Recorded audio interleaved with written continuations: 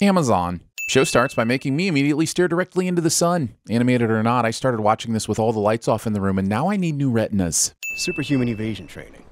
I'm supposed to learn to tuck and roll away from a guy who can shoot lasers from his eyes, or control minds, or kick a goddamn school bus to the moon? In an alternate reality where White House guards need to be prepared to deal with superhuman combatants, the simple concept of closing the gate between vehicles seems to have gotten past these two, along with anyone who has a fake ID, or a Dunkin' Donuts perks card for that matter. Are you gonna be gone the whole time? All friggin' week?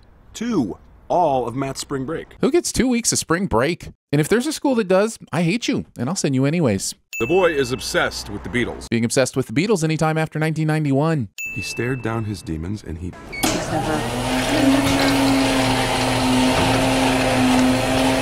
Why don't I just make some hot cocoa to cheer up my sweet boy? This is supposed to be condescending, but hot cocoa is delicious, and Steve doesn't make him follow through with this promise. We were supposed to be inside. I should have never trusted the flawed calculations of a clone. Clone shaming. Also, this Smurfs reboot went a little too gritty for my taste. Refreshing. Kind of tickles. And it's wasteful. They've been pelting them with zero effect for 30 seconds now, so why keep going? Your tax dollars at work, am I right? This Jon Hamm cameo has been right there watching how bullets don't hurt them and he still takes a shot? Kind of feel he deserves whatever comes his way at this point. I would give this a sin for War Woman and the Immortal both doing three point landings, but Martian Man essentially does a one point landing, so I'll take one back. So that's the two, and then you subtract the one, and then, you know what? Forget it. I hate math. Just add a sin. Cool. We've got Fish Guy, Stretchy Groot, discounts Wonder Woman, Batman, Wolverine, and Flash, and Chroma Key set intern? Also, superhero posing instead of immediately getting to work. Did you come here to fight or audition for Legendary? I wouldn't normally move so fast, but hiring Michael Cudlitz to do a Russian accent. And I love Michael Cudlitz, but based on the fact that Steven Yeun, Lauren Cohan, Lenny James, Chad L. Coleman, and Sonequa Martin Green are also in this show, feels like there was a Walking Dead cast quota that had to be met. Mauler Twin thinks punching through this wall would be easier than punching through this window right around the corner. You're welcome. Sassing those who are no longer present. We can take it from here. Too dangerous for you. Throwing someone straight up into the air is not the same as getting them to safety. This is pretty much like getting thrown out of a 12 story window because the building is on fire. Sure, Omni Man catches them, but nowhere was this scheme agreed upon prior to the Immortal tossing them like clay targets at a skeet shooting range. Ah! I had him. But I wanted him to think he was going to fall to his death because that's how I have fun. Evacuation complete. Now we can cut loose and focus on taking these brutes down. Hmm. According to my interpretation of Heart of Darkness by Joseph Conrad, the Guardians of the Globe may just as well fall into the category of brutes with the Mauler twins. I purport that War Woman's evocation of the Guardians will in this instance fall short of addressing the underlying moral and ethical questions one must ask regarding the use of superhuman force in the battle against the ever present and would be forces of evil. Also, she said evacuation. this Teamwork Makes the Dream Work segment of the Guardians of the Globe handling the steroid enhanced Blue Man group might be inspiring, but it makes no sense. First, Green Ghost drops them into pavement they've already shown they're stronger than, at which point Martian Bland Hunter wraps them up for containment so Flash Borden can land a few non effective punches. Then they let him go. Why? Apparently, so Fish Dude can free them and also maybe soak them with water? At which point, Bruce Plane can drop a couple bombs on them and Shira can pool host them on top of each other, which I guess ends the battle. This is such a stupid game plan. I'm giving the show 15 sins just for insulting our intelligence. I used to change your diapers, kid. There's nothing going on down there I haven't seen before. The often overused I'm your mom and I've seen your genitals cliche.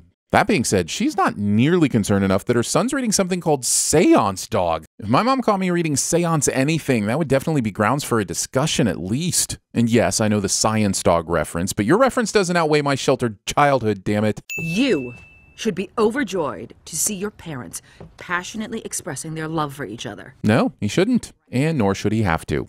I don't know the story behind why the high school is called Reginald VelJohnson, and I don't care. I just know it's awesome. Long live Carl. I can't believe the Guardians of the Globe let them get that close to killing the president. William would be invincible at TV sins. What kind of schedule is this? Mark has three free periods every day and apparently no classes on Friday? Even in this reality, the school system sucks. You're such an omni maniac. Way to root for the underdog. Big fan of the Yankees, are you? William thinks a superhero with a high success rate isn't cool. I don't even watch baseball, but if every time the Yankees won a game it prevented a catastrophic loss of life, I'd probably root for them as well. Quit playing games. I know you're crazy about me. Vanity. No man has ever run away this fast after being kicked in the balls. Oh, you want to run away, but nature dictates that you must cower in the fetal position for a while first. Millions of miles from here, out in deep space, is the planet Viltrum. Expositional fathering. Exposition? That's when I met your mother. The dialogue suggests that this scene is depicting Omni-Man saving Debbie, but it looks more like he's threatening to drop a car on her. Also, Show should get credit for not making us wait over 200 episodes to meet the mother just to have her die 30 minutes later. But you made me think of all that bullshit, so I'm gonna send you anyways. Canada t-shirts that say Canada on them instead of How do you like my t-shirt, you hoser? He is not getting cold a superpower because Mark is flying shirtless and shoeless this far up in the atmosphere. And well, his nipples should be at attention and ready to cut some glass is all I'm saying. No one hears this, or even mentions the damage the next day. You're much better off if you relax that muscle from time to time. Use the momentum you're building to carry you forward. These flying lessons go on for all the some time. Couldn't this have just been a montage with a Survivor song playing over it? You know, you spend your whole life trying not to pee your pants. So, letting go, peeing your pants on purpose, it's next to impossible. It is not. Or, I mean, so I've heard. Are you questioning me? It seems like a pretty aggressive turn for Omni Man to go from loving to abusive in like 20 minutes, but foreshadowing has to foreshadow, I guess.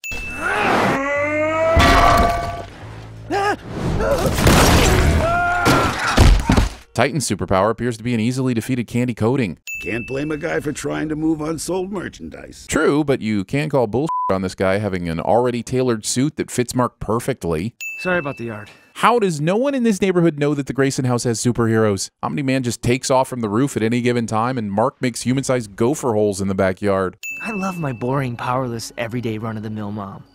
And I love my asshole son. The Mother's Day conversation I had with my mom somehow makes it into this episode. Even if this ball could have found the perfect momentum to not escape orbit and somehow avoid any high terrain, at this speed it would have completely disintegrated from the friction. Also, this is an incredibly negligent game of catch. Everything else, aside from the fact that Omni Man is encouraging this, makes his turn to villainy not so surprising. You actually are invincible.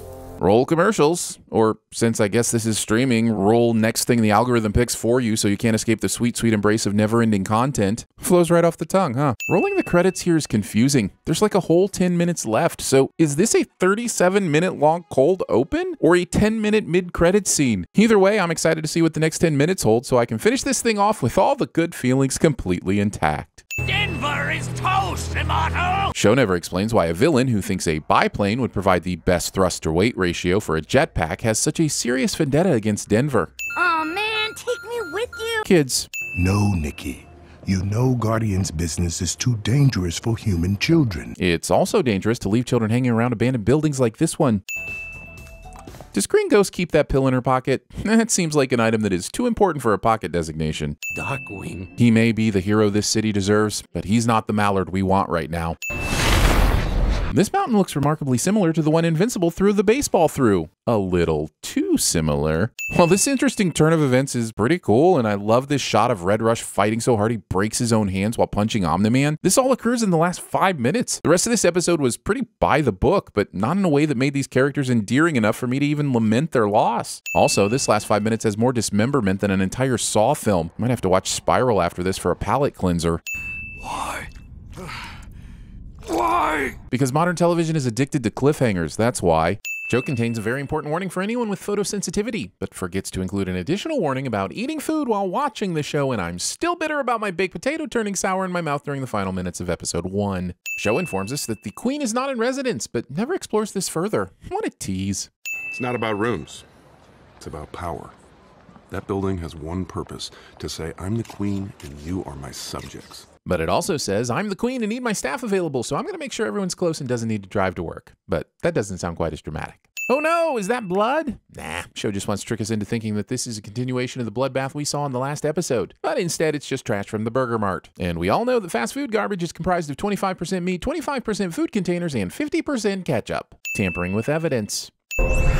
Clear. No, you're solid now. You were clear a second ago, silly. Here? The animators decided that if they were going to go through with all the trouble to draw a dismembered body, that it needed to be shown at least 64 times. We get it, they died horrifically. Sure, spray Aquarius' corpse down with lube and attach the doodad to make us think Immortal might survive. Toy with my emotions and momentarily trick me into thinking the Guardians could be saved. I could handle it. Careful, don't bump her. Don't bump Her? She is dead, sir. Her head has been relocated on its axis. Bump her all you want. She doesn't give a f about bumps. Leaving a book on a stovetop. This coffee maker is running way too hot for a traditional drip machine. Either there's a wiring problem or Omniman is being a dick to Debbie's tongue. 50% of the shower is useless space. As the Global Defense Agency, we have access to medical technology far beyond any normal hospital. Exposition! Ah, that's one of our threat response teams. More exposition. We're not in the mood for the tour, Donald. Oh, thank you, Debbie. This big ass screen is needed to monitor blood pressure and temperature. With just a little bit of attention to design economy, they could eliminate most of these other screens. That would probably cut the power usage of this room in half. We're a little understaffed in the hero department. Category is things that should have been said quietly but needed to be spoken loud enough for someone else to hear and move the story along.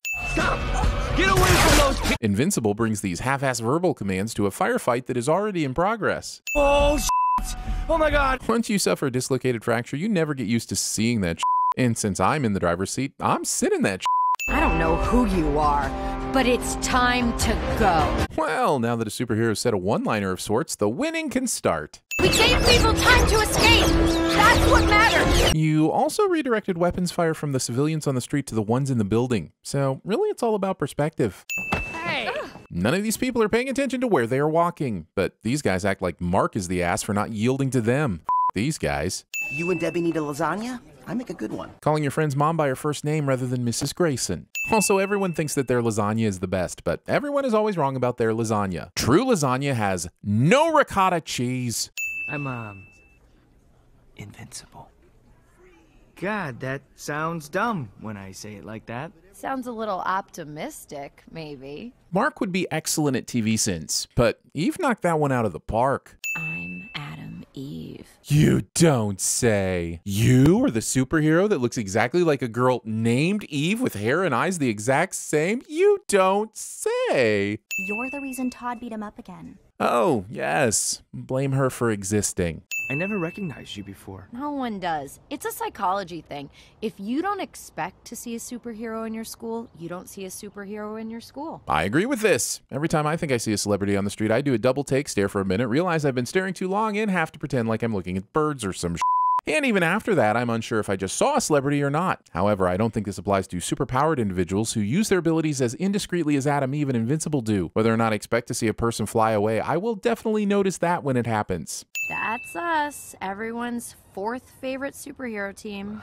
Wait, what? The number of superheroes on this show seems to be increasing exponentially. If there are that many superhero teams, I would start thinking it's very likely to see a superhero at your school. Now I have to retcon these sins. That's much better. You'll get used to it.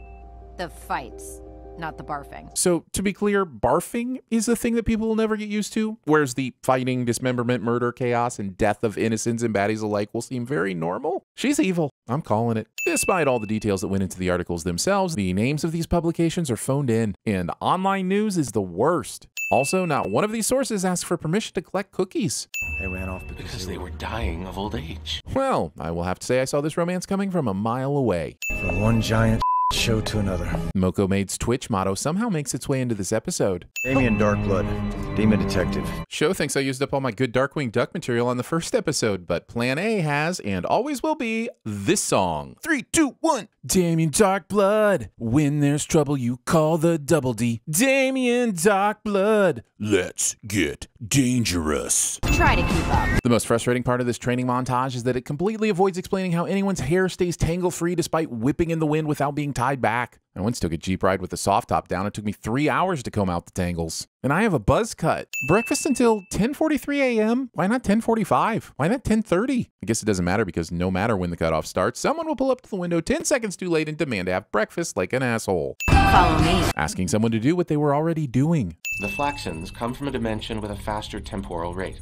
As a result, the tachyons they emit spin more rapidly than our own. Show expects me not to conflate spinning tachyons with the spinning DNA on this monitor, and I simply cannot allow that. Are you okay? Donald said you saved a lot of lives. Yeah, it was just, uh, harder than I thought. I'm glad Mrs. Grayson is checking in with her son, but wouldn't this have been a conversation she would have had earlier while comforting him in the midst of his blood covered trauma? I'm not going to send Rex somehow being annoying during what I assume is his post coital celebratory milk drinking, but I am going to send Rex for being one of those people that drink straight from the container. So, you can be more awesome than him and take his place. That's how dating works. It is not. over excessive pen clicking. Why aren't they getting old? In the previous fight, it took the aliens several minutes before showing signs of aging, and the teen team has shown up at the very beginning of their newest invasion. Be patient, kids. Sheesh. Teen Team starts the battle with the same unsuccessful tactics as they did in the last one. Dupli Flip jumps about letting her copies get massacred. Sex Load throws his balls at people. Zachary Quinjet does his best Iron Man impersonation. And Pinky and the Lame makes use of her Swiss Army Bubble Yum. The only significant difference is that Intolerable discovers the power of boners. So they target the wristband expertly, but what stopped them from being so precise with their previous attacks? Could she not pink spike through their brains? Invincible is a dick to healthcare workers and the poor bleeding soul that needed this gauze. Hey, I need my costume back. I don't care how torn up it is.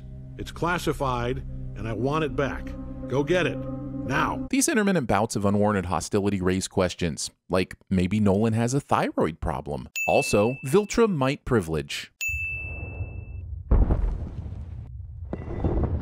Breathless Human has time for this. Wow. I get it. Taking the view while you can. But does does Mark not need to breathe anymore? Is that part of being invincible? Even on their third attempt, these aliens are still opening their portals across from each other, thereby funneling all their troops into one easily surrounded location. I'm no military scholar, but we all know it's not fun to keep using the same predictable positions. Also, the teen team never once attempts to exploit this.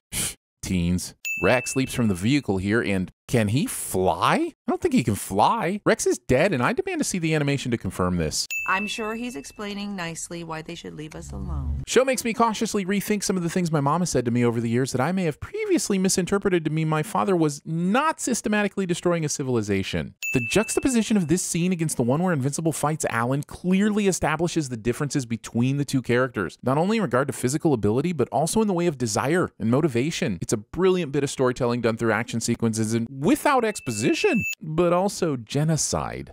I'm at a loss for how to report this, but the Guardians of the Globe are dead. For sake, did we need this eyebrow we already know he killed them. The show just spent two minutes showing us his ruthlessness. Just enjoy hugging your family, Nolan.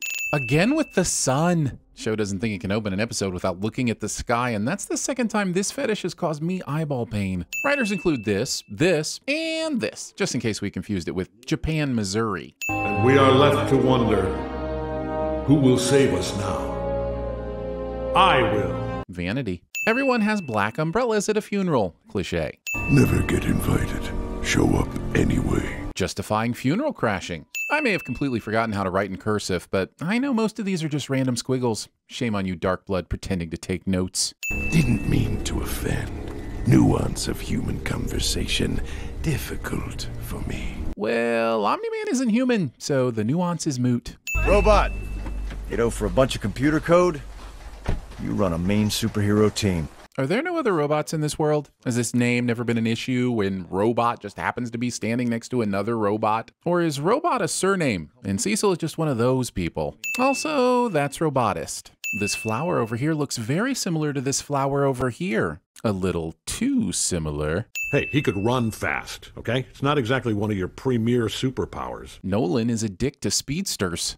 I was thinking finals are coming up and we're both in Miss Walker's Global Issues class. Study dates. While I do believe these books do contain references to bio and math, I find it hard to accept that any publisher worth their salt would use titles this general. I knew there was a reason you skipped the funeral. Just skipping a funeral to have sex with duplicate. Wait, is that actually a sin? Hold on. What's that? Okay, so I was just informed that this is 100% without a doubt, no questions asked, a sin. Phew. I actually think this joke is pretty hilarious, but geometry. Despite your name, I believe you underestimate yourself, Invincible. But Mark said nothing about doubting himself. He said he couldn't join because his dad wanted to handle training him, and his mom didn't want him to miss any more school. And then the director said, have him bounce his pecs. It will make him look like even more of an apple. Wait, what? Somebody ought to teach you some motherfucking what up. Despite being surrounded by superpowered individuals, Rex Chode underestimates someone named Monster Girl. Come on, man, read the room. Also, Rex survives this. We find out Monster Girl is wary of transforming often, since every time she does, she gets a little younger. So why is she wasting a change on fucking Rex Splode? Invincible hit that little girl. Show thinks that someone who just witnessed that fight between Rex and Monster Girl is really gonna try and cancel Invincible over this. I'm sure your junk is awesome. Even with the power dynamic reversed, this still feels wrong. Welcome to the Guardians of the Globe, Monster Girl, along with Rex Splode. What exactly is Rex Splode bringing to the table? You're telling me that out of the 20 or so superheroes that didn't make it, none of them were more qualified than Rex? Because I do not believe you. Rex cheated on me with Duplicate, all three of her. Whoa. Envy. Whoa. And now lust. This show is full of a lot of actual sins, so I'm sure no one will complain about our video this time around. As soon as the forensic investigation has concluded, we'll be moving into the Guardians' headquarters. Not a single one of these numbskulls thinks it might be a bad idea to set up shop at the scene of the former Guardian's unsolved murder. It's like they say die a hero or live long enough to see yourself become an eco villain. Go out the back way. Setting aside the little detail of the stairs leading directly to the front door, why is this even necessary? Unless Amber, for some reason, hates dating guys with friends, William's presence should have absolutely no impact on her perception of Mark. Well, then the whole concept of personal privacy or me time, that's out the window. Facebook's user agreement. Doc Seismic isn't burned, seared, or lightly browned in any way, despite being incredibly close to lava. Also, there is no lava close to the surface of Mount Rushmore. Invincible completes this repair without a proper mortar mix. He doesn't even consider a bonding agent. That's just shoddy craftsmanship.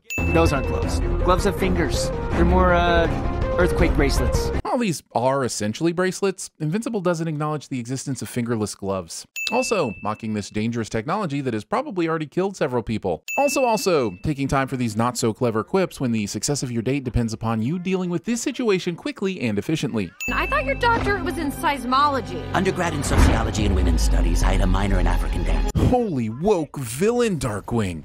I mean, I don't know if I should f him or fight him. Random tourists randomly being put into random jeopardy are random. Show creates false tension by expecting us to believe that this man will die a horrible death. Show also assumes I will care if this man dies a horrible death. And I do not. Wow, that guy is toast. Oh, I see. So, like, none of these sound good, huh? Pun shaming. You left a girl in your room while you flew off to deal with a crisis. Good. Yeah, because telling Amber you forgot you had something to do and you can meet up later so then she could go back home or wherever and accomplish other things and possibly hold on to some dignity would just be silly. One last piece of fatherly advice, okay? You might want to change. As should you, Nolan. I'm assuming both Mark and Debbie would have people that don't know Nolan is Omni Man over to the house. So why would he ever be just wandering around the downstairs with his Omni Man showing? I sold a house today that had a double homicide. I told them lightning never strikes twice. Technically, it did strike twice, just in rapid succession. Thursday, chicken pot pie. Getting this excited about chicken pot pie. Go ahead, rope me in with this cliffhanger reveal that Robot was actually behind the Mauler twin escape? Because otherwise, I had no intention whatsoever to watch any more episodes of this very entertaining take on the superhero genre. Escape from hell. Seek justice for others to save own soul. Show knows exactly what it feels like to quit your job in sales, blow all your money on developing a terrible student film, and ultimately end up writing for TV sins. Eh, maybe too soon in the series to make this call, but I don't care. Nolan furrows his brow cliche. The skip recap button. That's right, I'm sending the Amazon interface for allowing me to skip a part of the show that I've previously sinned. Sure, it looks all sexy and convenient, but it offloads the administration of this experience onto me. This is essentially the digital equivalent of the self checkout lane at the supermarket. Stop trying to automate perfectly good jobs. Plus, my hands are currently occupied with stuffing artificially flavored cheesy popcorn into my face.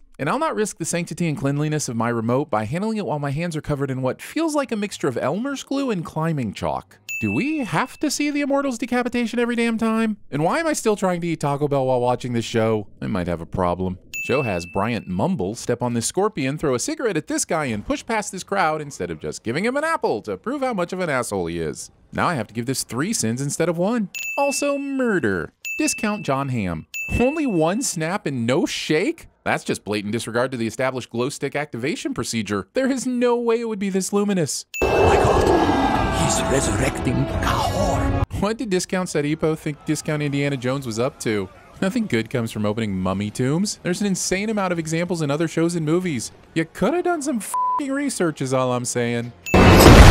My first thought was that this door fell into place by sheer luck. My second thought was that one of these guys just happened to be proactive enough to shut the door on this nightmare. My third thought was that Omni-Man threw this door into place as he and Invincible were flying by. Finally, my fourth thought was giving this moment a sin because I'm pretty sure five thoughts would have caused a Nexus event and frankly, I don't have time for that. Messing up the desert. Huh? J.K. Simmons, man. J.K. Simmons. What happened to Gain some altitude. Messing up the desert. Are closer to the surface now than Invincible was when he was kicking up the sandstorms. Wait, where's Mount Everest? It's the high one. Dad directions. Hey, deep breaths, buddy. The air's thin up here. Show's already established that Invincible's lungs are too strong for this to make any sense. In episode 2, he held his breath during a lengthy flight in space, then a conversation in space, and then took time to stop and enjoy the view from space. Why would breathing be a concern here? Sometimes I forget how beautiful this planet can be. Too bad the human race is hell bent on destroying it. Look, if I wanted Captain Planet, I'd watch, well, Captain Planet. This login screen has no forgot password link. Considering how much effort went into writing these articles in episode 2, I was really surprised that the show went with this lorem ipsum nonsense. But, judging by the glowing circle forming in my living room, reading that Latin text aloud may have been a bad choice. I'll deal with that later.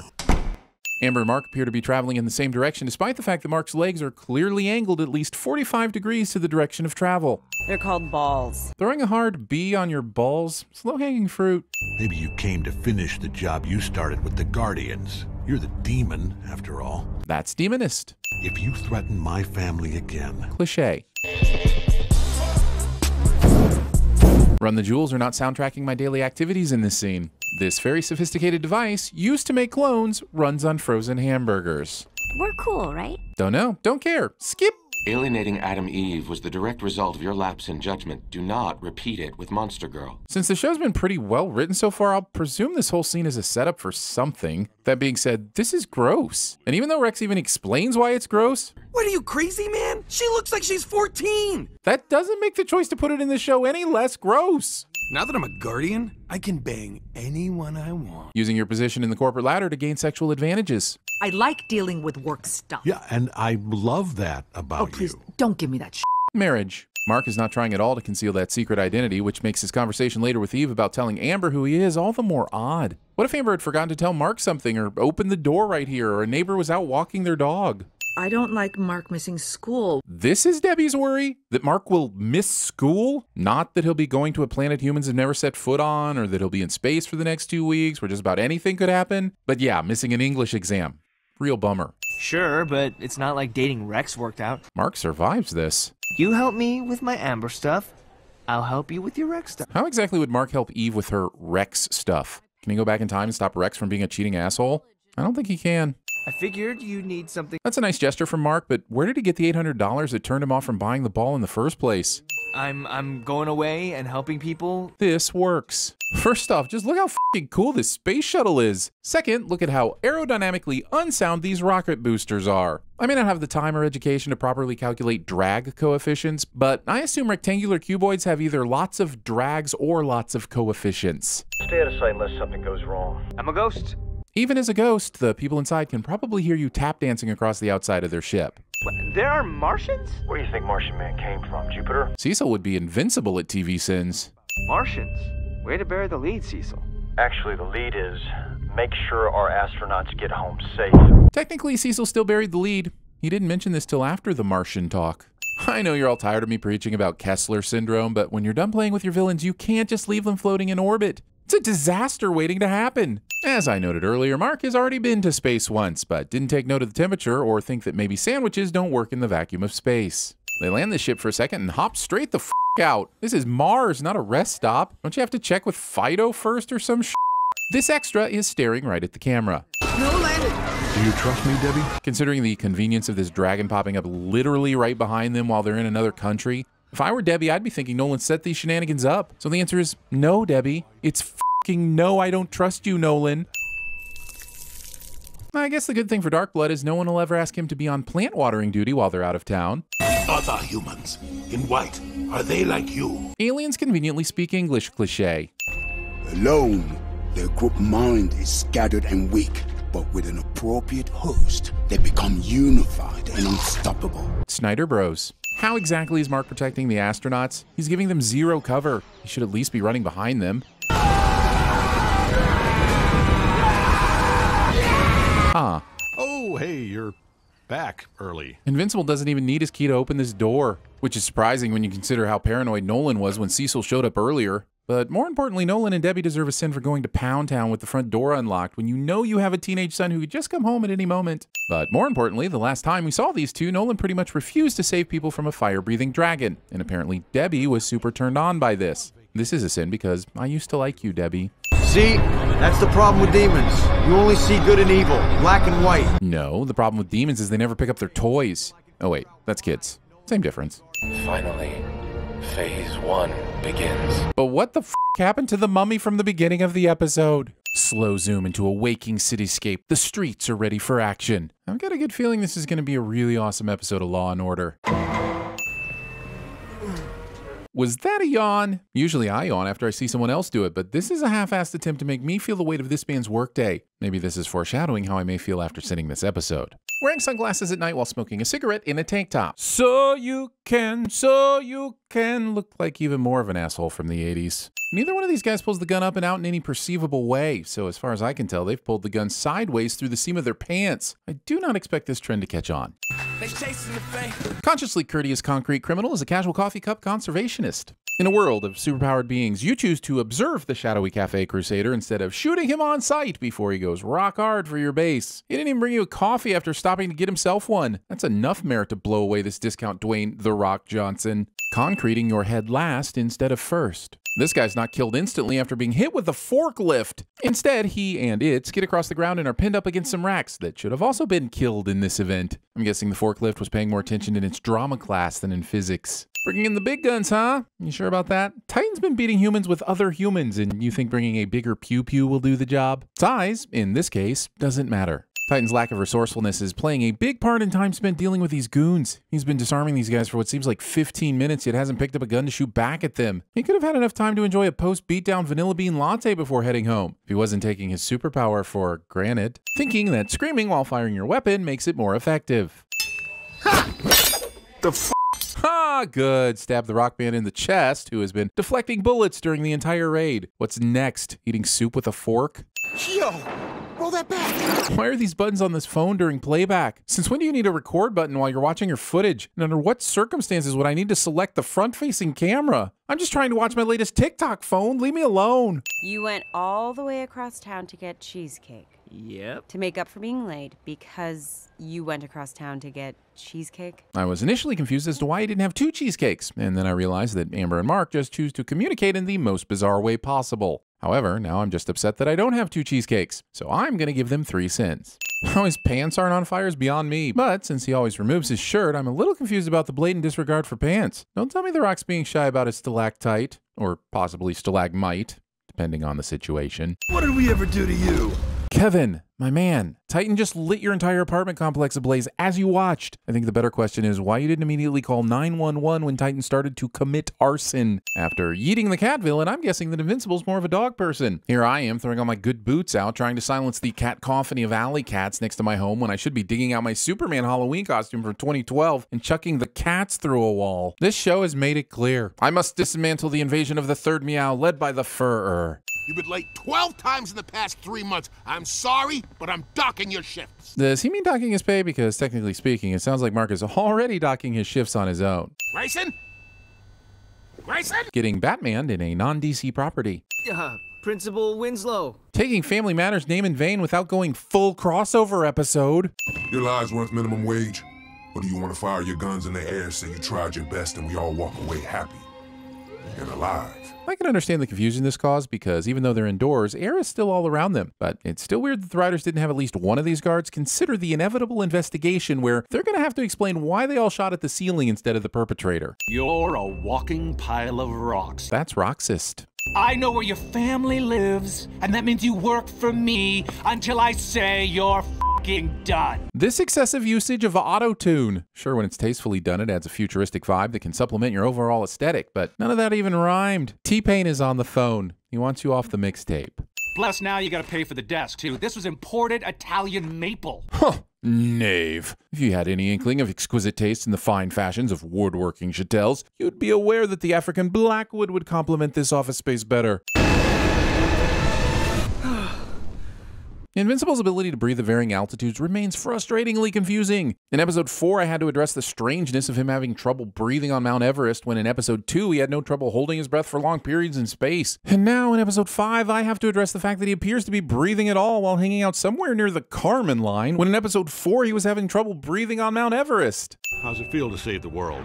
Why not break the meteor into tiny pieces with your super strength? You send a meteor hurling into deep space at such a velocity that it would decimate any planet in its trajectory. For a date with a girl that doesn't even like your diversified cheesecakes, I'm not sure you're earning the hero part of superhero.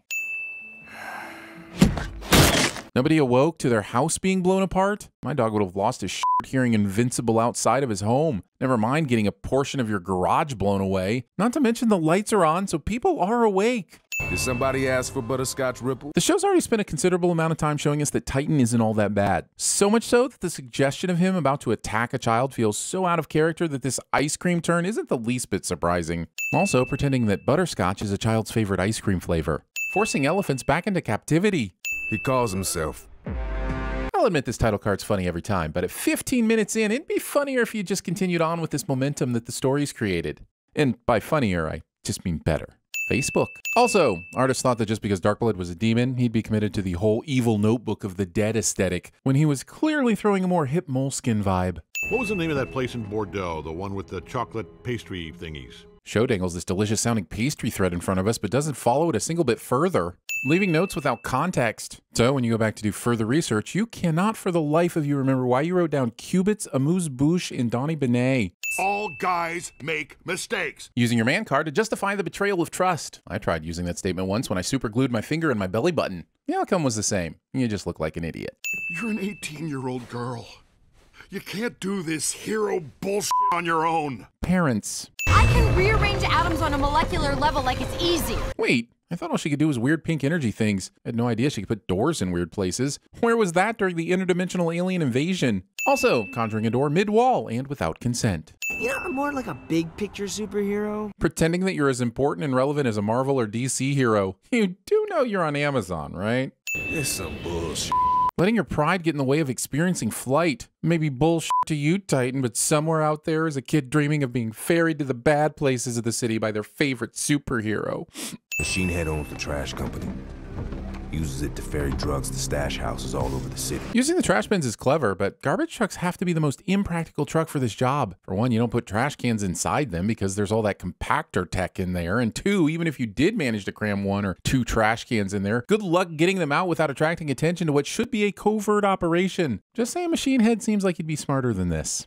Even though people use it generically, Popsicle's a trademarked name. You wouldn't see a Kleenex Palace, would you? Although, really might be handy to have one next to the Popsicle Palace now that I think about it. I know I can take Machine Head. He's just a criminal with a special head. Having a special head is often a sign of huge problems for a superhero. MODOK, Brainiac, Juggernaut. Doesn't he read comic books? Putting mashed potatoes right on top of your already separated food. You fought off an alien invasion, saved the country from an asteroid. This is beneath you. Viltrumite classism.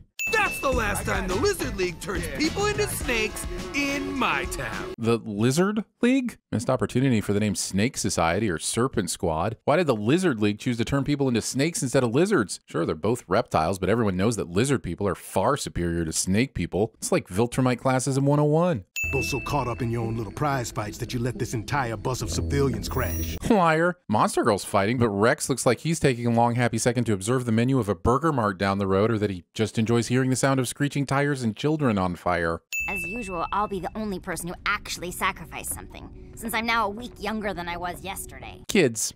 He's only been a hero for a few months. He thinks he knows everything. I just don't want him to make a choice he'll regret. Like sloppy slaughtering an entire superhero team without doing much to cover your painful barefoot Lego trail of evidence? Like that regret? You want to come tonight? We could use the help. Mm, I wish I could, but too busy saving the world. Well done, Amber. You've accidentally put two and two together about Eve's superhero career. But how are you still oblivious to Mark's? He's been coming more in and out of your life than my dad has in mine. Just don't let Mark go get milk. Hi, I'd like to schedule a therapy appointment. I almost forgot how good I look. Button press, buff blue man reveal, technology, electricity, excitement. Three point landing cliche. Debbie's calculations show 12 minutes of travel time while she sets a timer for 20 minutes. I can look past this discrepancy as a possible estimate to account for wait times at each stop, but there are so many unknown variables here, such as Nolan's flight speeds and just how long is he willing to wait at these shops. He doesn't seem to be a very patient man. So the fact that the timer goes off exactly when he gets back makes this whole scene a conveniently contrived pile of this works. Nolan put his murder suit on this weird shelf above the window instead of sinking it to the bottom of the ocean, tossing it into an active volcano, or just throwing it straight into the sun. Now, even on the off chance he planted it here on purpose, I'm still giving this a sin because throwing it into the sun wasn't plan A. Oh, yeah, these guys know what's up. It doesn't matter how good you are at security as much as how cool you look doing it. No way you saw this coming. I mean, I did. Not because I'm watching you do it now, Titan, but because this building was foreshadowed four times. In the industry, we call this foreshadowing. It's not quite as wasteful as doing four score shadowing, but still a bit much. Which is how I know it's not worth explaining to you two morons what quantum probabilities are. Well, Machine Head is right, simply because that would take a lot of time, and it's not like they're paying him for this lecture, so he'd only have an incentive to do this if he was the type of person that derived value from sharing his wisdom with others. Clearly, he is not. That being said, his statement about probability evokes an alarming amount of certainty. So much so that I'm wondering if someone needs to explain to him what quantum probabilities are. Mixing food with one hand. You look like you're good at chopping things. How'd you know? Cause she's a super. Uh, never mind. Wait, Invincible is bloodied? When did that happen? He gets covered in lava and electricity, then smashed into a wall and a floor, then uppercut by Big the Cat with a mace, and then this is where you want to show damage on him. It's almost like you want him to be impervious until the plot needs him to bleed. Whatever the case, the show's name from this point should now be Occasionally Vincible.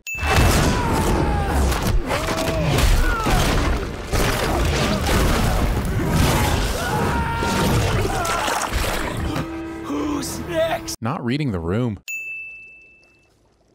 Not reading your texts. Wait, wait, I'm getting something here. What? Not using the already blown out door for maximum property damage. Cecil got an anonymous call. Samson feels the need to deliver this information, which is pretty much like the paramedics showing up to your car crash, finding you bleeding out, and pausing to explain that someone called them. And had that not happened, they wouldn't be there. Murder these assholes! Taco Bell's new slogan somehow makes it into the episode. Not to tell Machine Head how to spend his own money, but he could have just had Isotope teleport Battle Beast here instead of wasting his money on the rest of these goons. Take it from Confucius, Machine Head. He who will not economize will have to agonize. this fight was so good, I'm not even going to call it a discount Thanos versus Hulk. In fact, this fight is so good, Marvel should take notes. This fight is so good, I'm taking a sin away and adding it to the next Marvel show in spite. I'm gonna make this city better for a lot of people. But some people come first. Inviting your family to a bloodied, battle ridden office doesn't seem like the best parental choice to preserve child innocence. Just look up, honey. Just look up. Having the secret lab be accessible from the main elevator not only creates opportunities for these awkward interactions, it also increases the likelihood that an individual like myself could hack their way into the lab not with skill but with immature button mashing. I'm like an expert button masher. Watch. Uh, oh. Oh, um, Cindy, can you fix that? Thanks. I need my costume back, and I want it back. Am I important to you? I'm gonna do better. I'm not even sure I want to do this anymore. Clone. I need your expertise. I'm here for you. I thought Mark would be here tonight. Every one of these assholes in the previously on being all me, me, me, me, me. Maybe if you didn't lose your powers. Except Rex These assholes! and Battle Beast. Using three types of pen colors for your investigation when one black pen and colored highlighters are an option. Also, the red ink is under the black ink, meaning the circles came before the word blood, which is just a dumb way to take notes. This uninspired yet framed original artwork. What's important? Going full Rick Sanchez. You never go full Rick Sanchez. You're going to be in. What started out as a cute title card gag has now morphed into an anxiety inducing slap bet. Even in the real world, my heart rate increases every time someone says, Keep an eye on that bleed. An eye? Keep an eye on a gushing wound? How about pressure? How about keeping pressure? There you go. Find out what kind of blood she can take. Show wants me to believe that with all the preparation Cecil's making for an eventual showdown with Omni-Man, that he's completely overlooked the medical needs of the security guardians of the globe.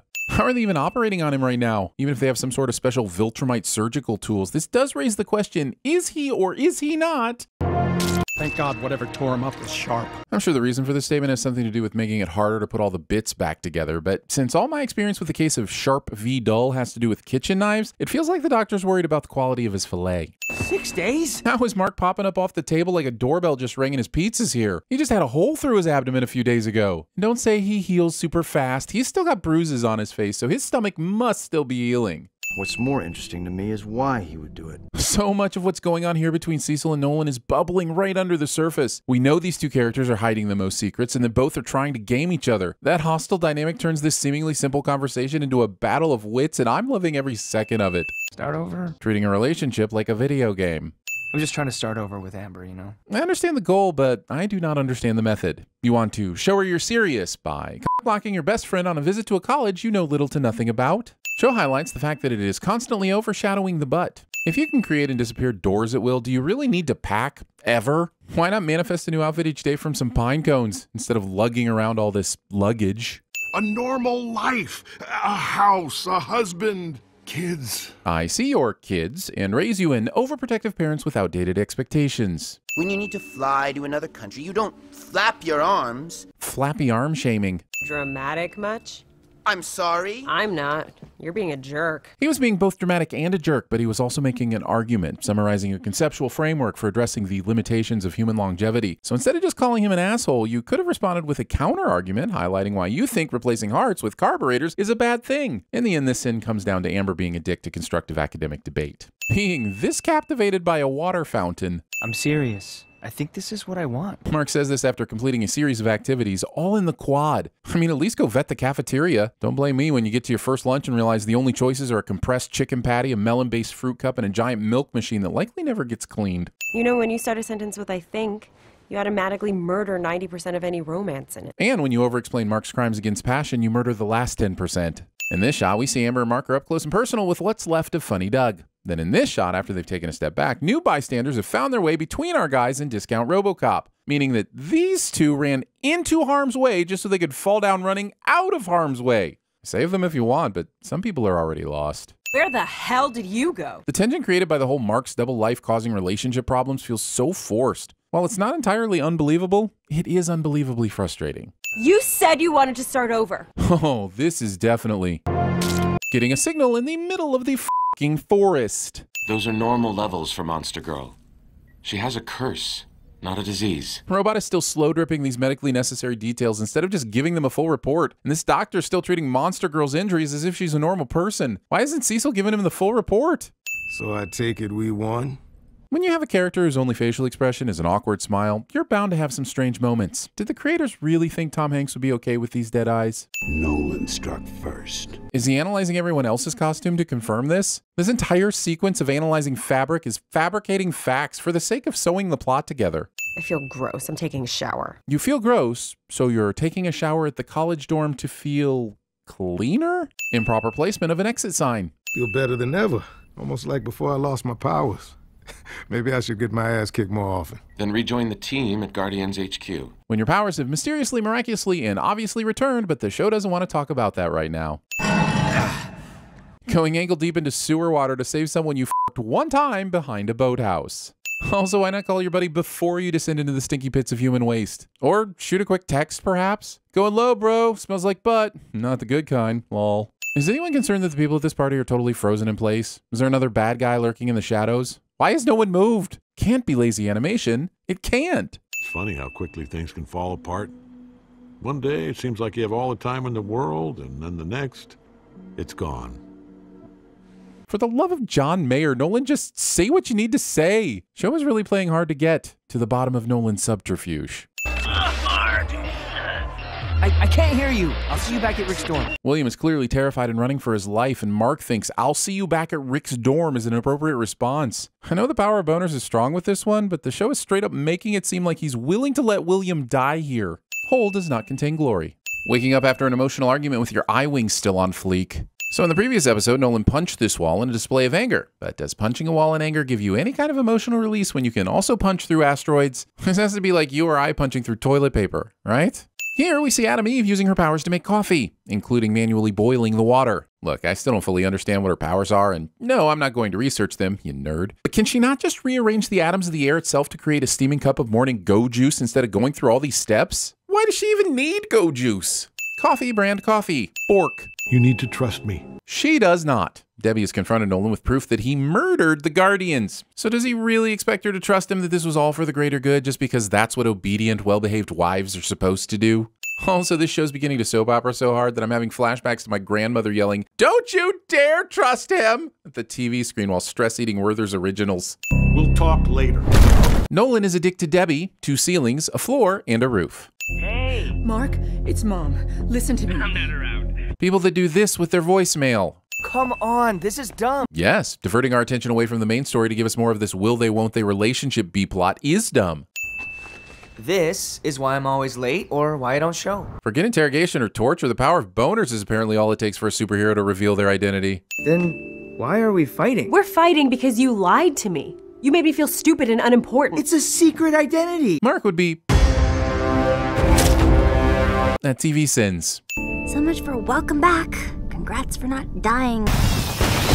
Premature being an ungrateful brat, or whatever the opposite of celebration is. Indoor fireworks. If the flying pieces of superheated plastic don't get you, the unannounced PTSD inducing explosion sure will. That's a guarantee. We're the Guardians of the Globe, baby. If we can die at any time, uh, we can drink at any time. This logic's not exclusive to the Guardians. Anything that's alive can die at any time, and anything that's alive can drink at any time, assuming it has a mouth, a digestive system, and is of legal age to drink iced tea. Now, just give the show a sin for acting like Rex was capable of making a good point. But I'm lactose intolerant. Whoa, hold on. Do you know me at all? I filled them with beer. I know Rex is all kinds of unhinged, but this beer situation must be addressed. I don't care how well he cleaned these cartons, and we all know he didn't. There's still going to be an unsettling amount of milk switching around that beer. Why are you never this industrious when it involves training? The manager at every job I've ever had. I mean, except this one, of course. Can I refill your coffee, Mr. Sinny?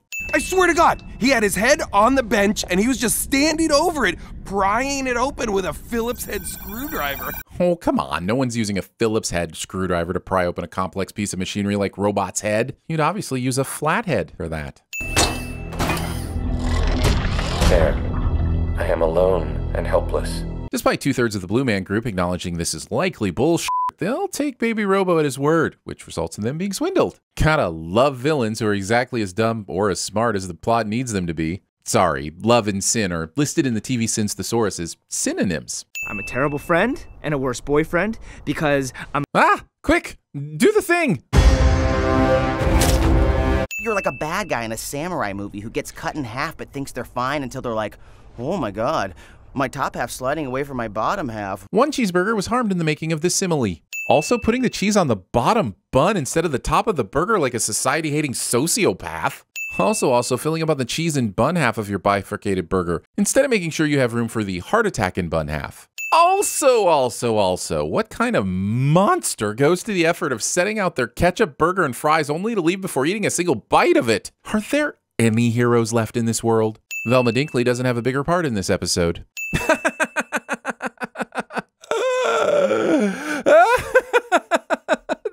Literal lorem ipsum text up here on this monitor. I don't know whether to add a sin for laziness or remove a sin for ballsiness. Nah, I'm lying. I know exactly what to do. There's only one person I know who might be able to go toe to toe with Omni Man and come out on top, Debbie. Why would Cecil think that Debbie is the best way to get to Atom Eve? Wouldn't it be better to just. Where's Mark, Debbie? No, f you. Robert Kirkman continues his crusade against 20th century innovators by using flathead screws to do the hard work of keeping Rudy's skull in place instead of the far more useful crosshead screws invented by Mr. Henry F. Phillips. This procedure doesn't transfer you to the new body. It creates a copy of your mind. Let's just file that under things Rudy should definitely know already, but thank you for the clone's position. Of course, his brain's abnormal. You didn't think of that? Look at it. A couple of things here. One, they only just found out this is what Robot actually looks like, so how could he have planned for that? And two, you are literally his clone, so why didn't you think of that too? His motor cortex is the size of a pea. Same for his occipital and parietal lobes. They've all been eaten alive by his oversized cerebrum. While writing this in, I learned that the cerebral cortex is the outermost layer of the cerebrum and houses the four major lobes frontal, parietal, occipital, and temporal. So either Thing 1's description of what's happened to Robot's brain is not quite accurate, or brain surgery is way more complicated than I think it is, and I should probably put this scalpel down. Compensating now. Which apparently is as easy as twiddling two wires together. I mean, this repair job would have been less ridiculous if he'd attempted a simple percussive adjustment. The laughable idea that a progress bar wouldn't quickly go to 98%, giving the illusion that it's almost finished, but then take an hour to reach climax after four or five attempts and at least one reboot. Electricity, screaming, fire, excitement? I'm sorry it wasn't you. I think I understand the sentiment, but what a bizarre thing to be sorry about. In all the ways that matter, he is him. I mean, other than now occupying the body of a younger version of a hero who he didn't consult or receive consent from before cloning, but we've got the rest of the season to explore. There's only one episode left? And they're just pulling this now? And now that our deal is complete, it's time you both return to prison. If Rudy intends on taking them both to prison, why did he bother handing over the schematics to the collar? Of course, the answer is that the writers needed the roided smurfs to have the collar so they can bring back the immortal. Apparently, the show was three minutes short on runtime and way underspent on their animated blood budget. Rudy is a genius, but apparently that genius only extends to making slightly bigger robots. Judging by Mark's choice of dartboard placement, a disregard for human life must run in the family. He's not dead. Even after evacuating the neighborhood, we had to keep the yield down. Best it'll do is knock him on his ass for an hour or two. Holy shit. Cecil just wasted a lot of people's lives. Evacuating the neighborhood ahead of time means he was always planning to have Donald blow that place. So, what was the point of sending the soldiers into the house at all? If he knew that even this explosion wasn't going to do the job, what chance did they have? Texting and flying. So I'm helping you today. Seeing all of this going on in the world, but deciding to help Mark with his girl problems. Perhaps after all this time, poor AIM is actually a clone thing, not just a stormtrooper thing. Advantage to being a clone. We always know what the other one is thinking. Confusing cloning with telepathy. I'd argue even the slightest variation in life experience would have an effect on one's thoughts to the extent that the longer each clone was alive, the less likely they'd be to be able to know what the other is thinking. But I'm not a doctor, so I'm going to send this for being a finishing each other's sentences cliche. Where's Mark, William? Uh, Amber dumped him and he didn't like my advice, so he went to go find Eve. Bullshit! Does he know that? It ended up being true, but Mark stormed off without mentioning a thing about where he was going. If you're going to be labeled a snitch, at least be a factually accurate snitch. How do we know you're telling the truth? Ask me something only Robot would know. Despite the sound logic of this idea, they forego any meaningful question and answer segment, making us all wonder why it was even brought up in the first place. How the f do you look like me?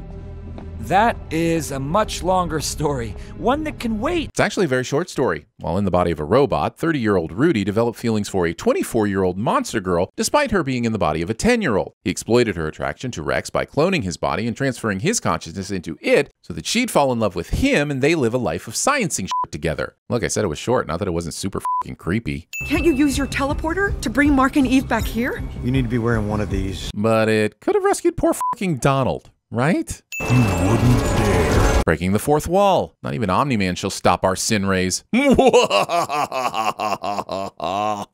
Sorry. But seriously, why is Omni Man making out like this laser beam is such a big deal when he seems to have no issues Rickon starking his way through it so he can blow up the source? A literal murder of crows. $400 billion for the world's most expensive nosebleed. Tony Montana, 1984.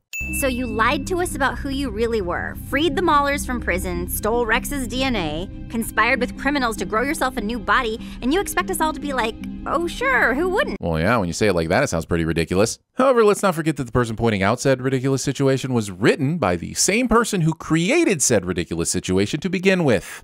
The world was fine before I came along. It'll be fine without my help. Better, probably. I'm sure it's likely a deliberate juxtaposition, but the Mark is moody and miserable about being a teenage superhero B plot really undercuts the fun of the Catch Omni Man A plot. And now, many minutes of Omni Man being pummeled by mindless robots who can't possibly hurt him. Yes, I'm both asking to get back to the Omni Man action and sinning the Omni Man action. Welcome to TV Sins. Further proof that every universe needs an Edna mode. This creature's impressive, but it can't even fly. So here's a sin for all the other possible routes Omni Man could and should have taken to get past it. That should buy us five minutes or so. I mean, you could have easily doubled that if you made your move as soon as the zombie robot soldiers started attacking, instead of sitting back and enjoying the show. Teleport me to Invincible's location. Can't, sir. Hail Mary was so big she burned out the teleport. Teleporters? More like teleplotters, am I right? See, because they only work when the plot needs them to. Uh, I'll move on. Get to Guardians HQ. What? Cecil! Listen to me and do what I say. Or you could fucking tell her that Omni Man murdered everyone instead of playing the situational equivalent of the pronoun game with her. Also, why is using Atom Eve and the new Guardians to take down Omni Man the backup to the backup to the backup plan instead of being the actual plan? If this creature does take out Omni Man, what the f do they call to take it out? Yay! A fight between a being we have no reason to believe is even remotely killable and another being who is literally called the Immortal and who we have already seen die horribly and return to life. Who needs stakes to keep the audience invested when you have two men punching each other really hard? Me. I do. We need to talk. Roll commercials. Holy sh! That actually worked this time. It feels like this previously on was cut together by someone who's never watched the show. We have Debbie mad at Omni Man, Omni Man mad at the house, Cecil looking for Mark, Amber mad at Mark. Ooh, Eve's here. Rudy's new body. Cecil mad at Omni Man, Debbie looking for Mark, the Immortal looking for Omni Man, and finishing with Mark looking as confused as we are after that barrage of clips, most of which are about as orienting as a big arrow saying, You are here on a slightly bloody but otherwise blank sheet of paper. The Immortal survives this, which I know is rather redundant, but I only highlight it because he really should be called the Humpty Dumpty as in he only seems to be immortal after somebody bothers to put him back together again. Mark, we need to talk. Roll the previous episode's commercials? Someone's controlling you! It's me, Mark. It's just me. Believing someone that you think is being mind controlled when they tell you this. It's time for you to know where I really come from. And roll this week's commercials. My goodness, we're just a hop, skip, and a would be invincible at TV sins away from a full deck, and we haven't even hit the title card yet. I am from Viltrum, but it's not the planet I've told you about. Looks like today's conductor on the exposition train will be Nolan Grayson. The next stop is the planet Viltrum. We have created a perfect civilization. I'd say the compulsory white leotards tell a different story. The perfect civilization would have more than one fashion designer. In order for our people to reach their full potential, we had to remove the weak from our society. Wouldn't an advanced species know that physical prowess is just one facet while measuring the overall strength of a society? What about the architects who dream the buildings into existence? The philosophers who ponder the meaning of life through their tales? Or the scientists who, holy sh! did you see that person get cut in half? that was awesome! When it was over, our population was cut in half. But what emerged from the ashes was unstoppable. Since most of the battling we see on screen looks like a bunch of people taking cheap shots at each other when they're not looking, it seems like being weak just means you don't have a spidey sense. Problem is, we have no idea how this so called process of random assassination would ever stop. Wouldn't it keep going until there's just one Highlander left? We needed a better, more efficient way to conquer worlds. I mean, robots, right? The self replicating ones that expand exponentially would sure do the trick. Of course, that's going to be a lot harder now that you've killed all the nerds, isn't it? Our most trusted officers were each given a planet to weaken by themselves. Over the course of 20 fucking years? Even on his own, I'm sure Omni Man could have conquered Earth in six months max. What's he been doing? I can maybe understand if he spent that time convincing Earth's governments that Viltrumite rule was in their best interests, but it never even comes up. 20 years of superheroing and father figuring, and for what? We need to get Earth ready to join the Viltrum Empire. But why? To paraphrase a certain captain of the Enterprise, what does God need with a human?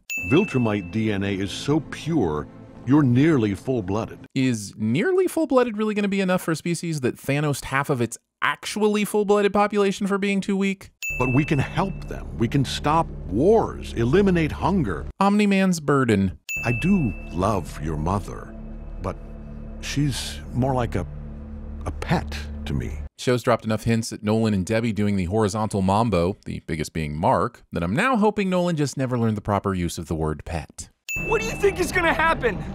That I'm gonna go enslave my friends for a bunch of aliens I've never met? Viltrumite kids. Being able to give this much side eye without ever turning your head. I truly hope Mark lives up to his name. He's gonna say it, isn't he? To face his father and survive? A lot of buildup on this one, huh? He'll need to be. Wait, what? What is this? Okay, that's just me having a bit of fun. I mean, if you're gonna be that predictable, you really leave me no choice but to make my own fun. Everyone in this group apparently attended classes at the Chicago campus of the Rickon Stark School of Running Away from Things. Calculating the relative weights of Abraham Lincoln's head, an asteroid flying through space, and this falling building is an amount of math that is very much above my pay grade. That being said, this show is doing an insufficient job of helping us understand how heavy anything is for these powered individuals. So even though this building may actually be heavy for Invincible, we have no way to tell if that makes sense or is just what the story needed at the moment. Ironically, we missed this in a previous episode, but as one of our great communicators once said, fool me once, shame on shame on you. Fool me. A fooled man can't get fooled again. So the sin, as always, is annihilasis. That was your fault. Your stubbornness against the inevitable killed those people. Confusing stubbornness with Newton's laws of motion. How can you say those things? I suppose we're meant to believe Cecil's getting this footage from the little flying ball things they introduced earlier. So here's a sin for convenient footage provided by Convenient Tech, which Nolan is conveniently not destroying. Maybe this time you'll learn. We can't show much more of this scene, so instead, enjoy these royalty free pictures of puppies while I remove a sin for the sheer brutality of this train sequence. This is exactly the sort of shit an actual supervillain would pull to demonstrate to Mark how fragile humanity is and how they're powerless to resist Viltrumite supremacy. Aw, puppies. I see you almost die to protect them. Maybe you were a Viltrumite when you came to Earth, but you've changed. Saying this to your father after he just used your face as a weapon of mass destruction. I don't know if this is a Viltrumite quirk, but I feel like Mark's suit shouldn't be moving independently of the blood that's covering it. Omni-Man is like breaking the sound barrier right now or some shit. So again, where is this footage coming from? If Cecil brought Joseph Kosinski in to direct, we have a right to know. Omni-Man is a dick to this boat. Twice. I can always start again. Make another kid. Nothing in this season has really answered the question of why Nolan had a kid in the first place or why he did such a bad job of indoctrinating Mark into his whole master species belief system. I mean, not that I wanted that, but we all know you have to start such things pretty early. right? If I have to watch this game, I'd have a better view from above. Believing the only thing preventing baseball from being watchable is altitude. This is a waste of everyone's time. There's so much more I could be doing right now. Well, yeah, but it comes with my Amazon Prime subscription, which is worth it for the two day shipping alone. And this show is by no means the worst. Oh, we're still on baseball, aren't we? When he feels joy, we feel joy. We interrupt this flashback, which interrupted a truly epic superhero ass beating, to bring you Debbie explaining the unshakable bond between parent and child. And as sweet as that is, it ends up making this scene entirely. Safe! Mark plays stickball really well, and everyone cheers, and that is a lie. Who cheers for someone else's kid? In fact, there are only five other people here in the bleachers, and if the teams are even, the four blue shirted kids here mean there should be at least eight kids total. Now, unless none of the blue shirted kids have parents that love them enough to put up with baseball, why is everyone cheering for Team Red? Mark's blood not being invincible. I can't begin to explain the devastation. All the important people just so happen to be tuned into the same news position channel at this exact time. Show continues to give us updates on the whereabouts and goings on of the Mauler twins when, at this point, we don't care. And if we're honest, did we ever? This Hatim book. The Guardians of the Globe and Atom Eve are on the scene. Okay, the Guardians mean well, but rescue operations like this are incredibly complicated. I doubt Duplicate has a clue how to safely remove this child from these iron bars, and don't even get me started on Rex Splode literally blowing up rubble to find survivors. To keep you and Mark safe, Nolan Grayson officially died when the house across the street exploded. Sure, won't look at all suspicious that Nolan Grayson, who looks identical to Omni Man, died on the same day that Omni Man went on a rampage and also disappeared. At least Clark Kent had fucking glasses and a different hairstyle. And don't be alarmed if you see yourself and Mark on the news. We sent proxies to the funeral. They've already had the fucking funeral without even telling Debbie Nolan is dead? And the media were there? Holy shit. Won't Debbie's friends and family think it a bit odd that they weren't invited? Nolan was doing everything under my nose and I never saw it. I wouldn't be able to live with myself if I didn't make things as right as they can be. Oh my, that wasn't a jab right into Debbie's heart. This devious prick just angered me so much that I was compelled to give this a sin. But then I realized I felt that way because his character was written and performed so well that he made me feel a feeling which compelled me to remove a sin. But then I realized that making me feel anything against my own will is an automatic ad, so. Also, saying Nolan was doing everything under my nose would be overselling it a bit. I mean, he did kill the Guardians of the Globe, but aside from that, all we have evidence of him doing is raising a family, writing travel books, and saving the world occasionally. I said stop! Just a reminder that Monster Girl can only do this a certain amount of times before she Benjamin buttons herself into oblivion. Was posing for the Discount Avengers glory shot really worth that? We get it, they're a team now. Moody montage of life returning to normal set against an equally moody indie song, cliche. The animators, who obviously took advantage of a sale at the generic green backpack store. The angle on this shot is weird and makes it look like Debbie is sleeping standing up against the wall. But the real issue is that with all the bullshit technology at his disposal, Cecil still couldn't get her a bed. Wait a minute, you know he's invincible? Oh man, you know too? Oh, thank God, I thought I blew it. You did, but fortunately for everyone involved, these slip ups tend to only happen when both parties are already aware of the secret and the plot just needs them to both get on the same page as quickly as possible. You've been drifting in and out for almost two weeks. But my guys got you patched up good. Taking credit for someone else's power of invincibility. Invincibut. The water America drinks so conveniently from their taps is laced with a chemical that inhibits the ability to see certain frequencies of light. Using your show to invent insane conspiracy theories is all fun and games until someone attempts to cure themselves with magic rocks, invest their life savings in a psychic stockbroker, or awards an Oscar to Army of the Dead. There's enough actual madness in the world without having my animated shows add to it, thank you. You and everyone else in America do not have the ability to see the things in this room. You'd be surprised how often we use this. I swear the show is making this description just vague enough to make me look like a dick for questioning it, but the show forgets that I have zero issues looking like a dick, so here we go. Let's assume that the chemical in question has been invented without a single whistleblower coming forward about this tampering with the water table. How does this work in the real world? Okay, this room is flooded with that light, but how do you use it outside of this room without it looking like a sudden white void of nothingness has suddenly appeared? We monitored your father until he left our solar system. He didn't change trajectory, so he's going somewhere pretty damn far away. Or he waited until he knew he was out of range and then changed direction. Basically, Cecil, you don't have a fucking clue, so don't you stand there and expect me to take your retina altering dihydrogen monoxide quietly. Guess who's finally getting his powers? Previously on Invincible. Again. You know, Omni Man is my. Said your dad was killed when a gas line blew up across the street. Not that hard to figure it out from there. Right? What did I just say? Oh man, it's so good to see you're all right. I mean, after everything on the TV about you and Omni. William fucks this up again. And again, it doesn't matter because the person who he thinks doesn't know the secret and really shouldn't know the secret knows the secret. Someone's flying towards Earth from deep space. We're still trying to figure out who it is, but. Writers thinking we would fall for this Omni Man returning to Earth fake out with less than 10 minutes left in the episode. You know about Mark and Omni Man now, so you might as well know about me.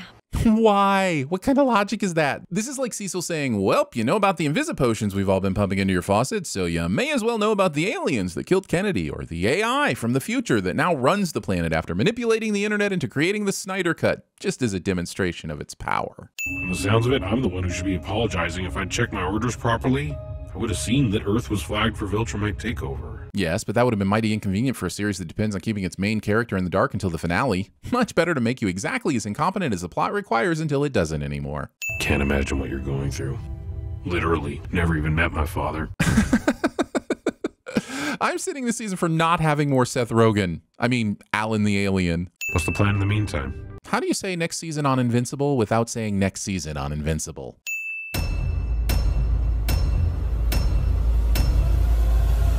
You think you can do these things, but you can't, Nemo!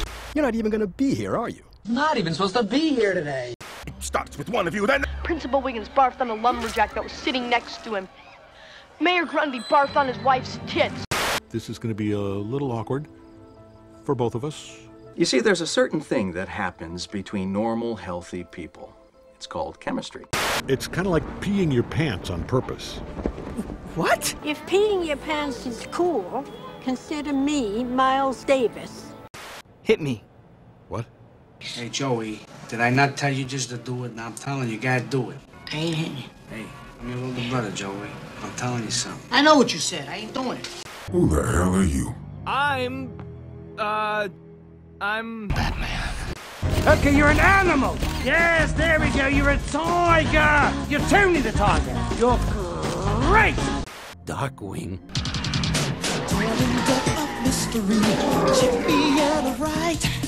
Janet's made a lot of talk talk into my ear holes about you. Michael, Michael, Michael, Kleikel, Kleikel, Kleikel. That's some good meatballs, boy. Freeze. Guys, we get it. It's a code red. Enough. Oh, hey, it's the Iceman. I'm just trying to figure out what are your powers again? You Just connected, man. But that's what happens when people get into air battles. Robot. I have a name. It's Dennis. Dennis McCoy. Hello? Do you want to die tonight, Cece? You're terrified of me, aren't you? I am not scared. How's it going in here? I brought snacks. So many snacks, so little time. Holy conflagration! Wow, that guy is toast. This chick is toast.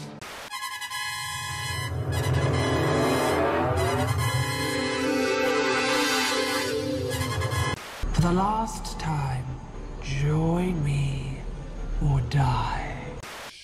Don't you dare shush me. Just know I have a whole bag of shh with your name on it. That was the best night of my life. I'm about to eat nachos! It's the greatest moment of my life! Calculating landing ellipse. Based on our last uncorrupted nav state, I'd say we're somewhere in this 60 by 120 kilometer ellipse. We just gotta close in on the downrange variables. It's about the math. This is it. That moment they told us about in high school, where one day algebra would save our lives. Don't open that! It's an alien planet! Is there air? You don't know! What is your purpose here? Nobody exists on purpose. Nobody belongs anywhere. Everybody's gonna die. Blow the bomb, Harry. We're with you. Guess what Donald found when we searched your office? Tiny pies? Say I'd see you in hell. We have such sights to show you. Hansel. So hot right now. Hansel. Surprise, motherfucker. Is he a good guy? You can't handle the truth. What was the name of that place in Bordeaux? The one with the chocolate pastry thingies? How can you think of food at a time like this? Who's your boss? Machine Head owns the trash company. Uses it to ferry drugs to stash houses all over the city. Beautiful, super awesome, sexy stash house. The only place we're guaranteed to find Machine Head is 60 stories up. Inside this building, there is a level where no elevator can go and no stair can reach. And I need all of you to stop what you're doing and listen. Cannonball! Thundercats! This battle is beneath me. Not, not quite my tempo. Yeah, I mean, it sounds about like bonk. That's about it, right? There's not much more to it than it. I'll fix you. We have the technology. Hey! Let me up, asshole! If this is some joke or some weird sex I'm not in the mood. You're going to be beautiful. You're going to be. I don't get a BP. Start two large bore IVs, saline, wide open. Type and cross for 10 units. Give me four units of O negative down there. Stat, drop an NG tube, and get Dr. Benton in here. There's no place for a pediatrician. Mark. Mark. Mark? Mom? Oh, hi, Mark. And no sex. Uh, no sex. Are you insane? What about school or, or college? Your mom goes to college. You can't save the world, Samantha. You think you can do these things, but you just can't, Nemo. How does a machine have emotions? By subjecting myself to erotic imagery. Okay, campers, rise and shine, and don't forget your booties, cause it's cold out there. It's cold out there every day. I finally rest and watch the sunrise on a grateful universe. Were you were you blackmailed? Did they threaten me or Mark? No. Then why? You need to trust me. Like sands through the hourglass, so are the days of our lives.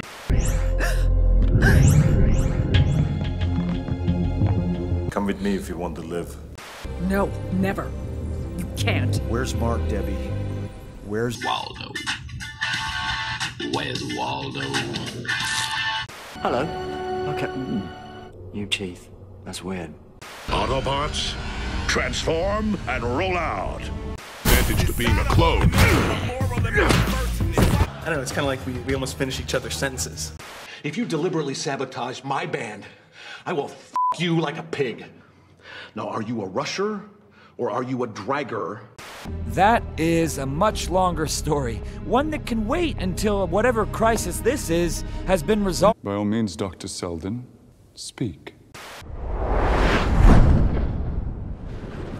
It's over 9,000!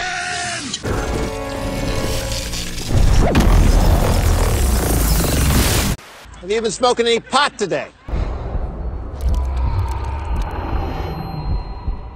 How high are you? Thumbs up their asses. Thumbs up their asses. Do you have any idea? How much I make a year? I mean, even if I told you, you wouldn't believe it. Hey,